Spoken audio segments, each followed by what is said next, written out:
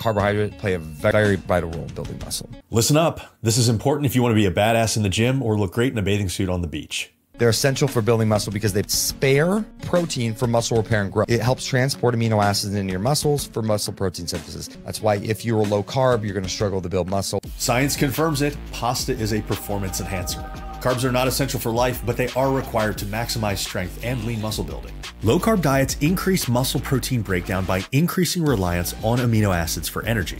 This decreases muscle repair and the beneficial adaptation from weight training, which blunts lean muscle building. Having persistently low muscle glycogen stores has even been shown to impair maximal strength. And carbs taste great, so here's your excuse to have more fruits, veggies, and burrito bowls in your life.